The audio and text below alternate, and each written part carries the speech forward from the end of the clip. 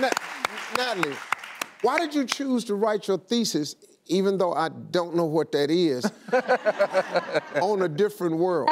First, let me say I am overwhelmed in the best way possible. To even look at the cast and see that they are here will probably make me freak out. But um, so my mom passed away when I was just 13, and I remember watching that show and telling her about it and that I was going to go to Hillman, and she would look at me and say, "Hillman isn't real."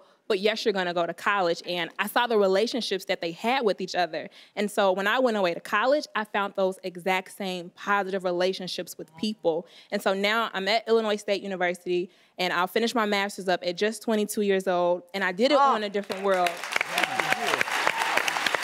Thank you. And so with the thesis, I'm pretty much saying that Dwayne and Ron, you all had a brotherhood. Whitley and Dwayne, you had a romantic love. You all were very prideful at times a little bit of selfishness, got frustrated, but you had compromise and understanding at the end, and it made you better people, and it prepared Whitley and Dwayne to go off to their version of a different world when you took the job um, oh. internationally. Wow. Wow. Damn. There it is. Wow. wow. There it is. Bravo. Hey, Natalie, come on down here. You about to be real famous, girl. Come on. Come on, Come on Come up, meet your cast. Come on, Natalie. I want to say thanks to the cast so. We'll be right back, everybody.